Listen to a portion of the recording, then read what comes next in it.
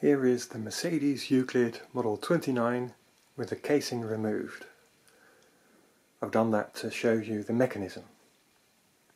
To remove the casing you first take off the two uh, clearing handles and then the, the cover of the carriage comes off with a few screws.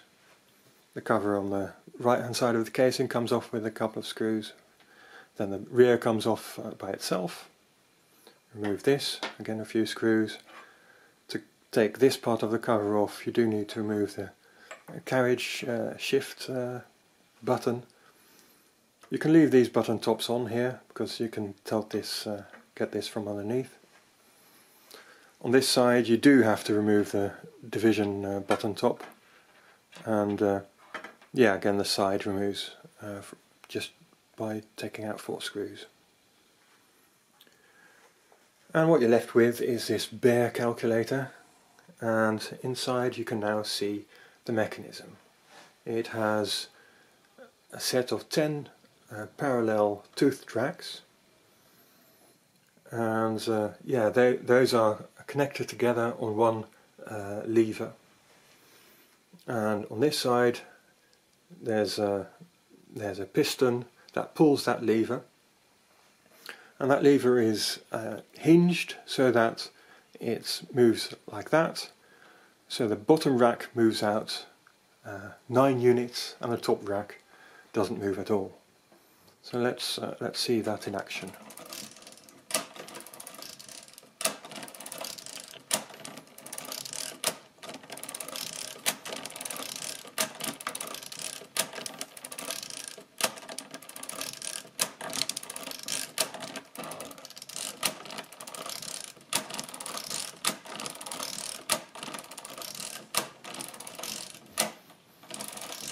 Okay, so these uh, columns of keys, they control these gears that are on uh, an axle. There are five little gears and uh, each one rests between two racks.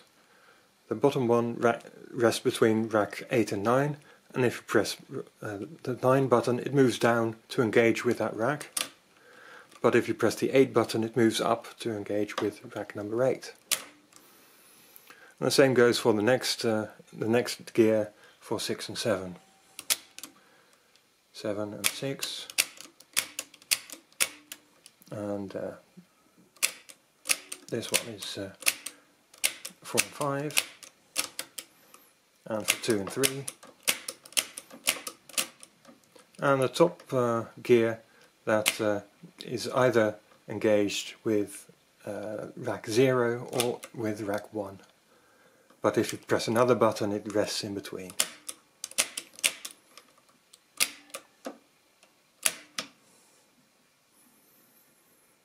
So if I uh, press say 6, so that, that gear is now engaged with rack number 6 and it now turns that axle as the racks go underneath it. It turns it by 6 units forwards and back, backwards and as the register only turns one way it just adds 6 and when the rack move ba moves backwards is uh, when the carries are performed.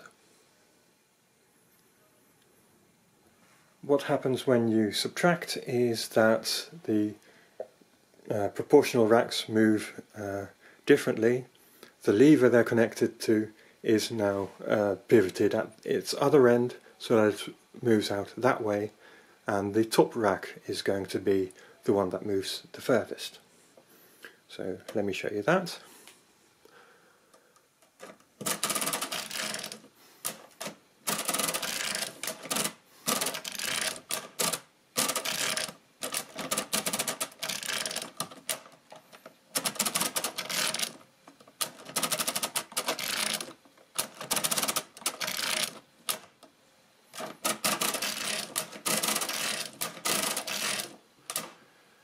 As you can see all these other columns where there's no keyboard there's still an axle with a little wheel at the top and that's those wheels are on rack 0 so that when you subtract they actually are going to add 9, the complement of 0. at the other end here, there's also an extra axle that's connected up to this uh, invisible digit, as it were.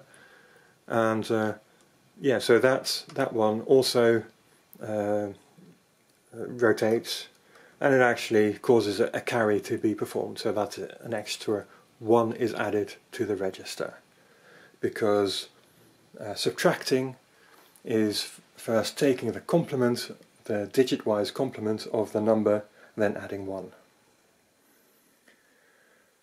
So uh, yeah, that's that's really all there is to it. So uh, that's the uh, proportional lever mechanism. Thank you for watching.